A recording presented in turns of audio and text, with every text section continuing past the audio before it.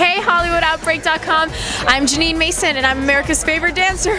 I'm very pleased that one of the strongest dancers in our history of So You Think You Can Dance has actually won the series. I knew it was going to could go any way, um, and any one of them could deserved it. You know, once you're in the top four, it's it, you know they're superheroes at that point. They've come through a lot to be there, and. Um, so I was I would have been happy for any one of them.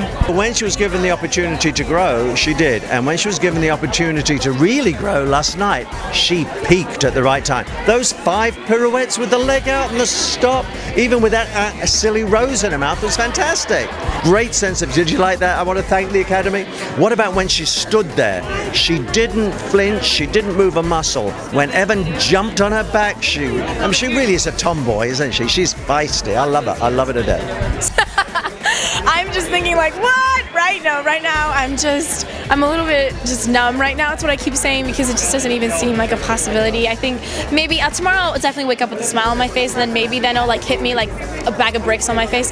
But as of right now, I'm just, I'm just enjoying this ride and enjoying this, this press and these people around here and um, just all the support. Um, I'm so excited to meet the fans and just hug everyone, right?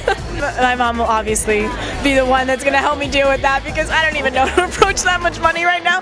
But I know I'm, I'm moving to LA and I'm going to UCLA, so um, a lot of money will be going towards that, getting me out here and getting started on my career. And um, I promised all the contestants I would buy them a pair of Free City sweatpants if I won. So now I need to buy all 20 of them a pair of those sweatpants. so there's a good chunk going to that. And then um, the rest will be a, a donation to um, Making Memories, which is an um, Alzheimer's organization my sister and I started uh, for my grandfather who passed away with the disease a couple years ago. So.